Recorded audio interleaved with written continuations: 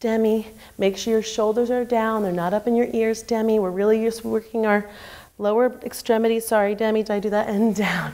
Again, Demi. Point.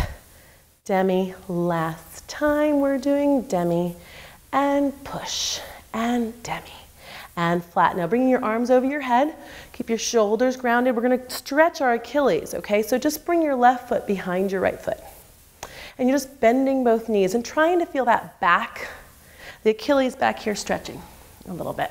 Okay, so we're stretching, but we're also balancing. We're gonna switch legs.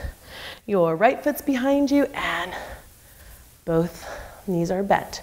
Arms are over your head. We're stretching that back Achilles. Switching legs again. And the left foot, uh, find that stretch. So you have to lean into it a little bit, that's okay.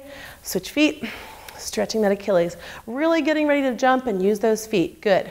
All right, open those arms to the side. Going into a bit deeper lunge.